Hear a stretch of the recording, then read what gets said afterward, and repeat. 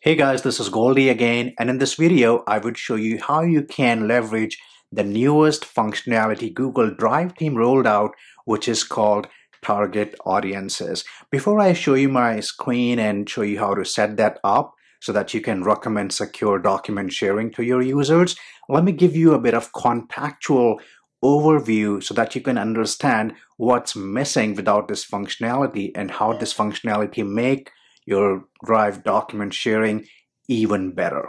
So with that, let me share my screen and let's cover this new functionality in much details today. Okay, so let's cover target audiences in great details. First of all, what are we missing without target audiences? Well, this is the old state, like in case if you do not have the plan that supports this functionality, this is what you would be missing or every edition has been missing. So in case you share your sensitive documents or maybe your non-sensitive documents options to share that you have is obviously restricted which means you can share it with only specified people whom you manually put by typing their email address or you can share it with anyone with the link. That means external parties as well including making it public if you want. Now in case you need to share the document within your company or within your organization the only option that you had was share it with everyone in your Google domain. That includes everybody who has the user account within your Google tenant.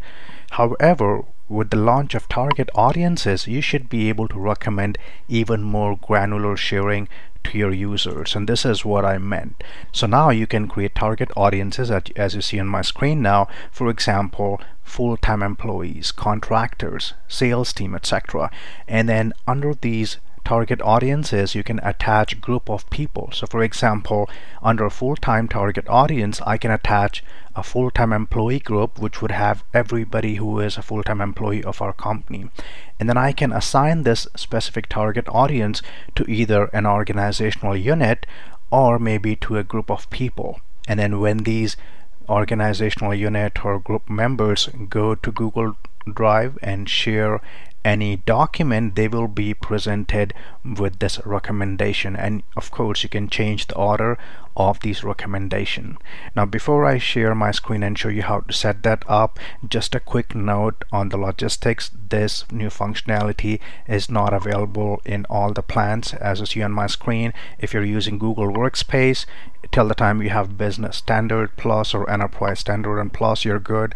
In case if you're using G Suite with business or enterprise SKU or maybe if you're using enterprise education you can avail this functionality.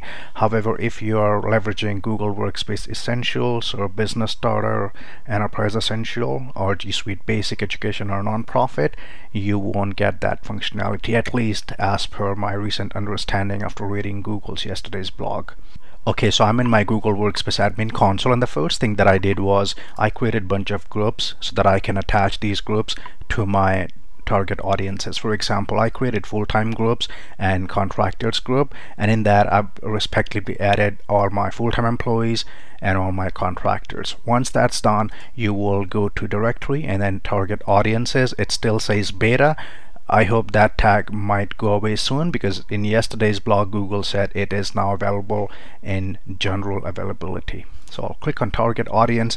Here I've already created a couple of target audiences, contractors and leadership as you see. However, the first one, this will be the name of your company or whatever name that you signed up for Google Workspace.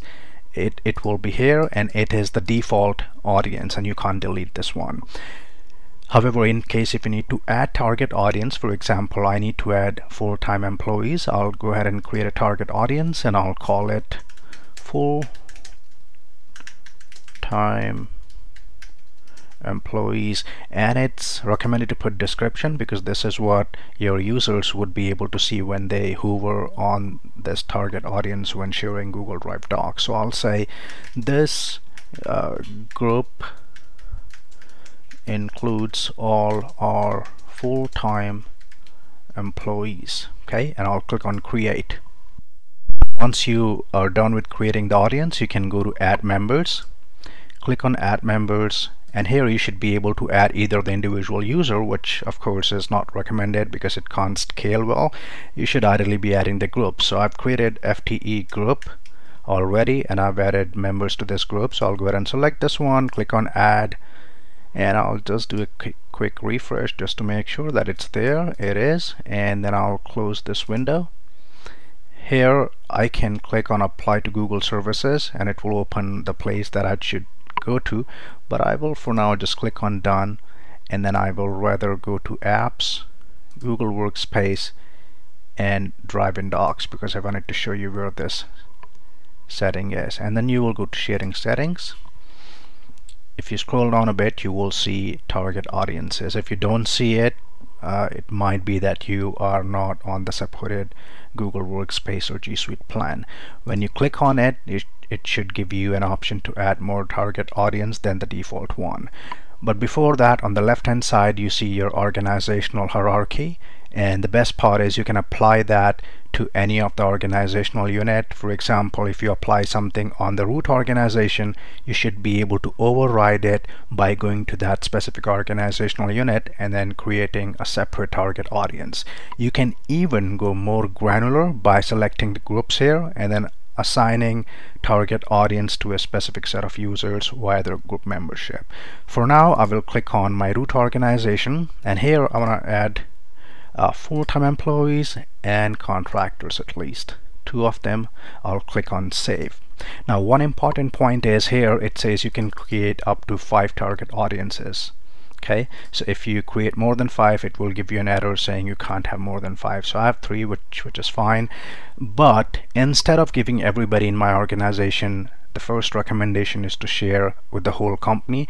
Maybe I will just move this one a bit and first recommendation I want that it should be full-time employees then the whole company and finally the contractors. With that I'll go ahead and save those changes Okay, so once that's done for my root organizational unit, I'll go and apply a different target audience to maybe my EMEA sales, sales engineering, because I love sales engineering. So I'll click on that sales engineering one and I'll make sure that I'm in sales engineering organizational unit.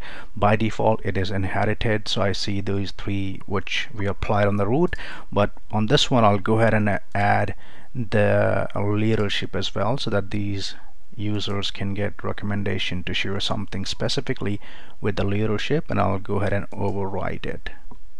Okay so now the result that I'm expecting after this that when somebody in my organization goes to share any document he or she will see these three options before anyone with the link in this order. However anybody from sales engineering organizational unit does the same sharing.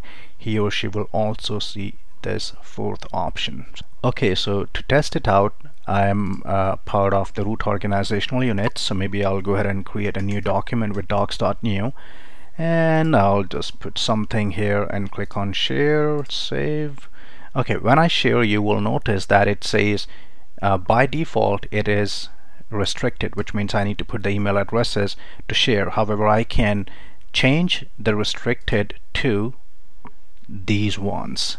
Where now instead of just anyone with the link I see full-time employees and this is the description I was talking about and your company which means anybody in your Google tenant and finally the contractors target audience that we created. So I'll go ahead and click on full-time and now this document can be accessed by anybody who is part of my full-time employees target audience or indirectly whoever is part of my FTE or full-time employees group membership. And now let's see what the user who belongs to sales engineering organizational unit would see in terms of sharing.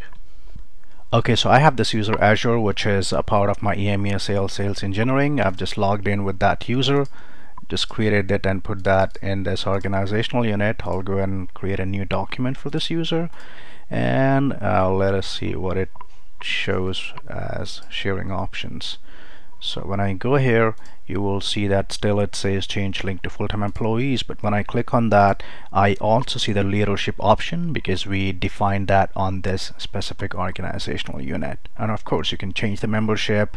Uh, you can define the order for any specific organizational unit you can do a bunch of customization based on your requirements so this is how Google Drive target audiences would help us and our users in sharing with the limited audience as per our recommendation. I hope it was helpful. If you have any questions, comments, or feedback, as usual, please do not hesitate to put it under this video and I'll be happy to collaborate. With that, thank you so much.